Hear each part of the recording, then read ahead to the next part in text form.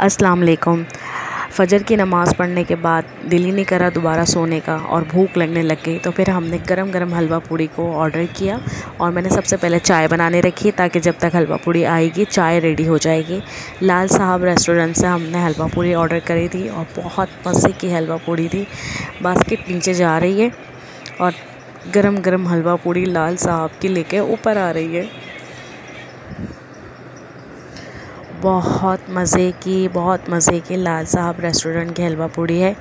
हमें, मुझे चौदह साल हो गए ये हलवा पूड़ी खाते हुए।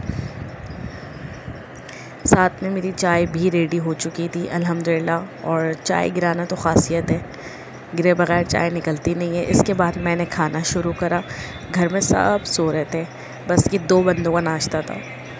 इसके बाद मैंने खाना शुरू करा और बहुत मज़ा आया। बहुत मज़ेदार हलवा पूरी थी और अल्लाह का शुक्र सब कुछ फिनिश करा। और इसके बाद फिर तो भाई thank you for my video subscribe my YouTube channel